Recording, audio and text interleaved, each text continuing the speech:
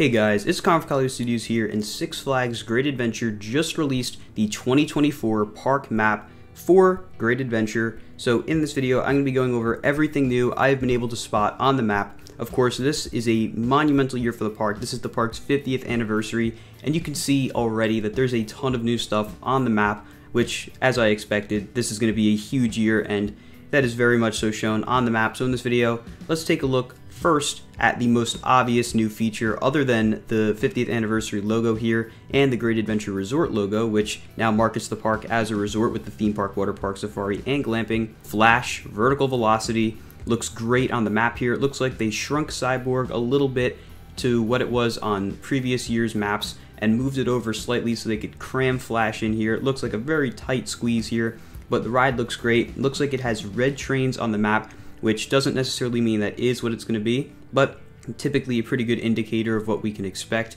though Nitro still has its old color scheme on the train, so take it as you will. But you can see the track layout here is a little inaccurate. It kind of spreads out a little more than it should back here, but we can see where the Arboretum is going to be located, just across the path from where it used to be.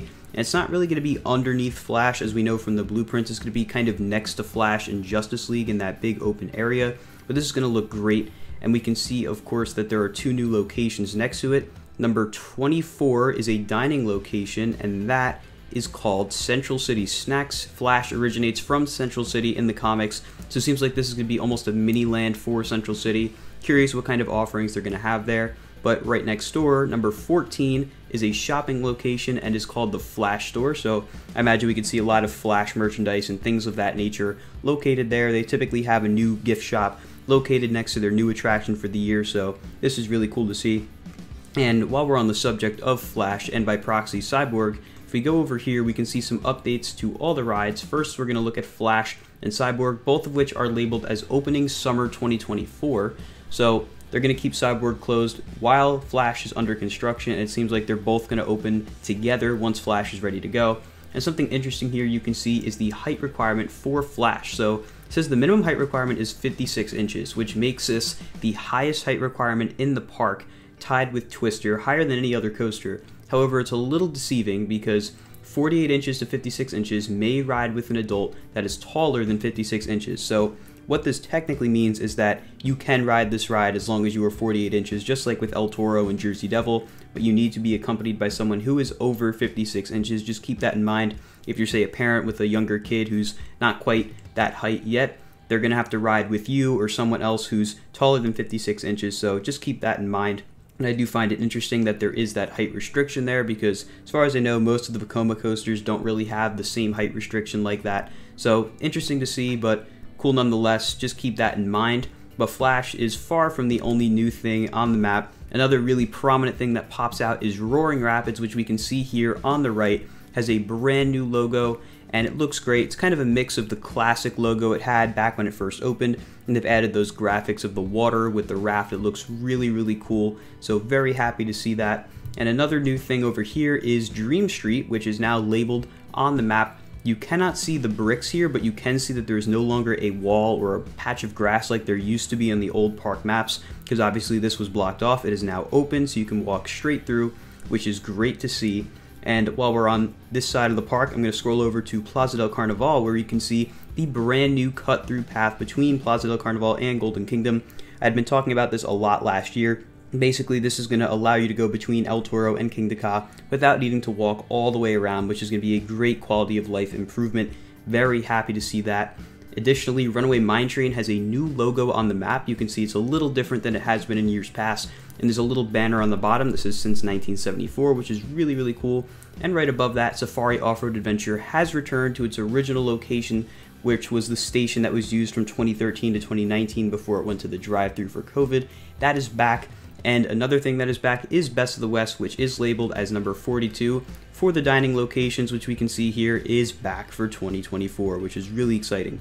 Before I go over some of the other dining locations, I am going to go through this list of rides here because you can see a lot of highlights in yellow, which have the openings for all these attractions.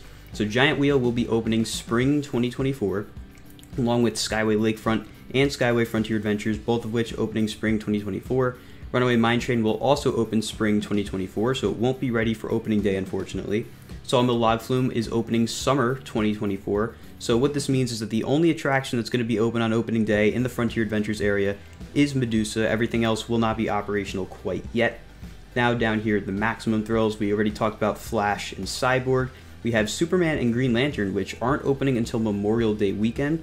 We can of course see here that yet again the parachutes are no longer on the park map. So I'm curious if maybe they're going to be demoing the parachutes and that's why they're keeping Green Lantern and Superman closed, but they will not be ready to go until Memorial Day weekend, so a bit of a wait there. But my opinion, that's not that big of a loss considering we have the rest of the park to look forward to. And up here, Bugs Bunny National Park will only be open on weekends through Memorial Day weekend, which is then when it will start operating daily, which is fine because Junior Thrill Seekers will be open daily, judging off the way this is labeled. And we can see that Barnstormer is on the ride list and doesn't have any exceptions like the yellow highlights for the other attractions.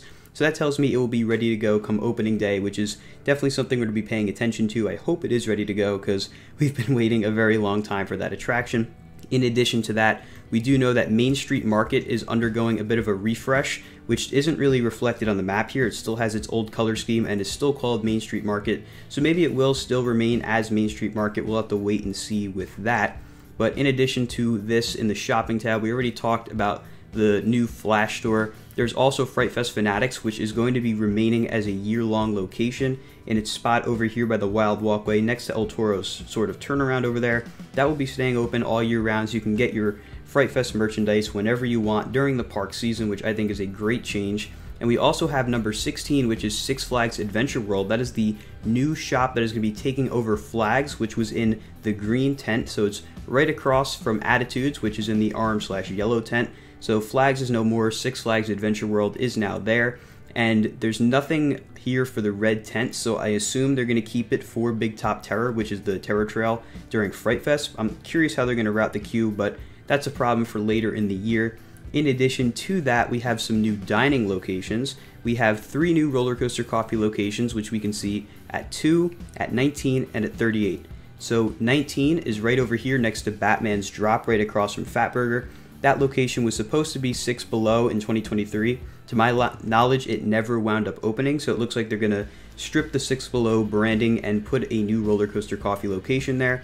In addition, two, which is right next to Sweet Treats, that will also be a roller coaster coffee location. And the final one, 38 over here, is next to El Toro's Turnaround. This used to be Funnel Cake Factory, and before that it was the Gyro Place. So I think it's really cool that they have coffee locations spaced out across the entire park that way, no matter where you are in the park, there's not a coffee location too far away from you, which I think is really great planning.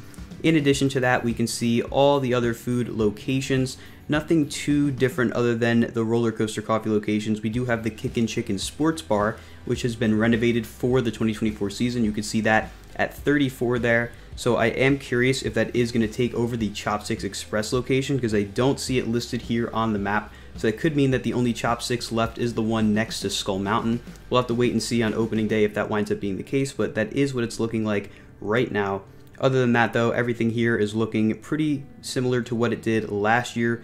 We do know that Central Brew House is not going to be called that this year. It is going back to Main Street Pub, which it's kind of flip-flopped back and forth between names for the past few years now, so it looks like that's what they've landed on for this year. We already talked about Central City Snacks, but otherwise, that is pretty much everything new on the park map for Six Flags Great Adventures 2024 season.